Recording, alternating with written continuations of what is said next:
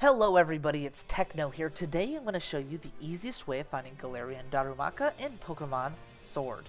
It is a Sword exclusive, which means you cannot find this Pokemon in Pokemon Shield. We're going to start off by flying to the city of Circhester. Right where the Pokemon Center is, just make your way south, and you should be able to find one right here. I'm just kidding, guys. You know you can't take that Darumaka. That's a trainer's. You can't take it from a trainer.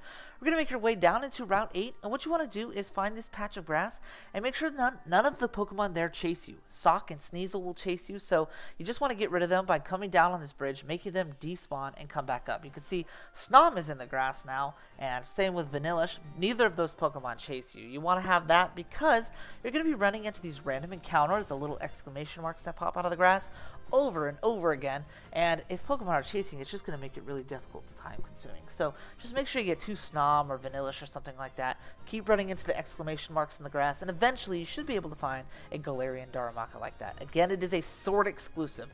That, that's the easiest way of finding the Zen Charm Pokemon Darumaka in Pokemon Sword and Shield. I hope you enjoyed the video, and as always, Techno's out.